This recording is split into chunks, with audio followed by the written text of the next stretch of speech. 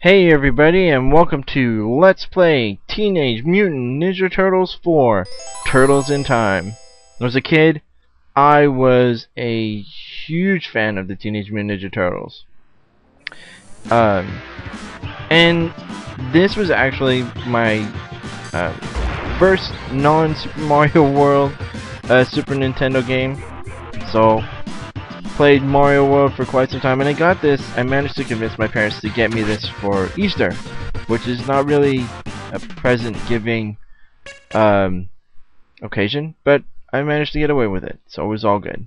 Anyway, let's go into options. I'm going to be playing this on hard mode, which gives you an extra continue, but is a lot harder, so you probably need it, but uh, I probably won't.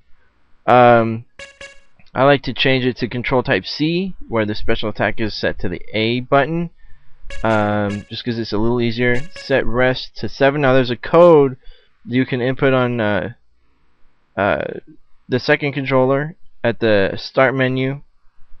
Um, I bet you guys can guess what code that's going to be since this is a Konami game. But, uh, but yeah, if you do that on the second controller, it'll allow you to have 10 more lives. We shouldn't need that. Uh, and then this is really neat option. The color mode, you can choose to have it the animated uh, animated color style where they were all the same color or the comic book style where they uh, had different colors. I'm gonna keep it with animation just because this game is based more on the cartoon than it is on the uh, on the comic books. But uh, let's let's do this. 1992. All right. Um, so these are the four turtles: Leonardo, Michelangelo, Donatello, and Raphael. Um, Leonardo is the most balanced. Um, Michelangelo is pretty balanced too. He's probably a little stronger, but a little slower. Um, so these two are your middle of the of the road characters. Donatello is the slowest, but he's also the toughest, and he has the longest reach with his bow staff. Raphael is the weakest physically of the four turtles, but he's the fastest. Um, he also has the shortest reach. Uh, I'm usually I usually play as Michelangelo, so I see no reason why I should do any differently. Oh, look, it's April. April O'Neil. Yes, yes, it's April O'Neil. Oh gosh, it's Krang. What is he doing?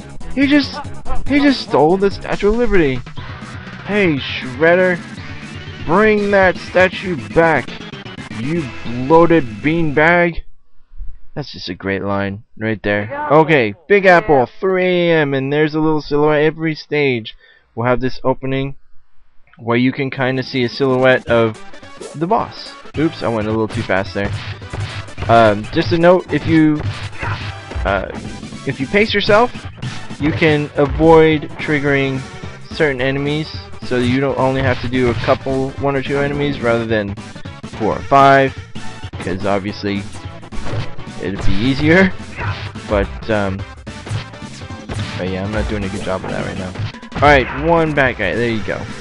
This wrecking ball will take a ton of damage away from you if you get hit by it, so don't fight near it. Try to stay on the left or right of it, and you shouldn't have any problems because they will come to you. You don't have to fight them. There's the pizza. Um, as in all Turtles games, pretty much, the pizza will completely renew your health. Okay, these guys are getting on my nerves. Stop hitting me.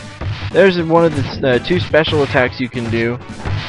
Um, I like this attack mostly because um, it gives you more points for the enemy you're actually uh, defeating. I wasted that opportunity. Oh, I actually got one of them. That was amazing. The explosion was off screen and it totally killed one guy. Anyway, yeah, that pounding attack will give you two points uh, for the enemy you are pounding.